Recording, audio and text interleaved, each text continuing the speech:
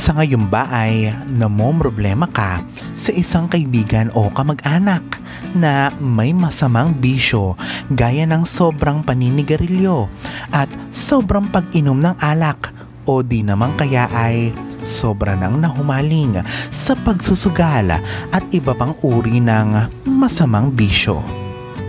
Madalas, ang masamang bisyo ang talagang nagpapabago sa ugali ng isang tao naaapektuhan pati nito ang kanyang kalusugan na siyang pinakaimportante sa lahat. Gawin mo na ang napakasimple at epektibong spell na ito. Like, share, and subscribe kung nagustuhan mo ang video na ito. Gawin mo lamang ito sa kahit na anong oras at sa araw ng biyernes o full moon.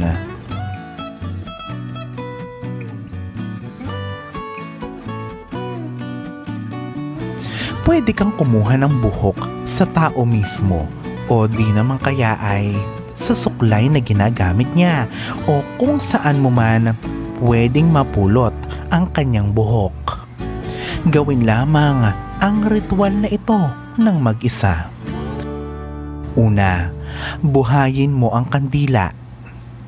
Sa harap ng buhay na kandila, itali mo ang mga buhok sa pako.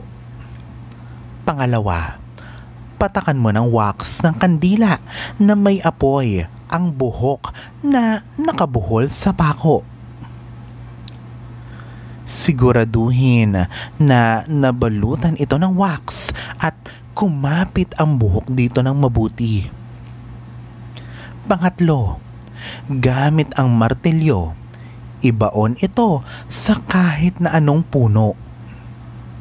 Habang ginagawa mo ito, ibulong mo sa puno ang hinaing mo tungkol sa tao na ito na gusto mo nang wakasan ang bisyo at gusto mong mabago. Mas mainam na makikita itong kinakalawang. This is Erfidel Rosario. Thank you for watching.